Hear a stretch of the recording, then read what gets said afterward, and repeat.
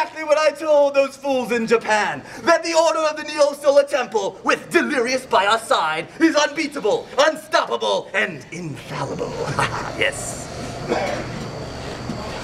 Where's the eye of Tyr? I mean, where's the Eye of Tyr, you fool? It's safely hidden away in a very secretive location. That's all you need to know. But, but the legend. The legend says if you don't give it away after you use it, bad things will happen. Poppycock! I have no use for silly superstitions. All right then, fine. I have another idea. You give it to me.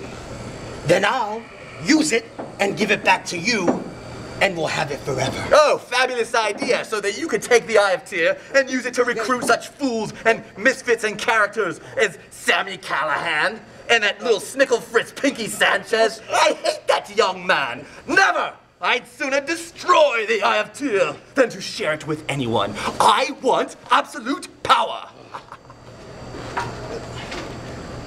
now, as I was saying, Crossbones, the last thing that you need. Wait a minute. What's he doing here? Get that bespectacled cameraman! Get him, boys!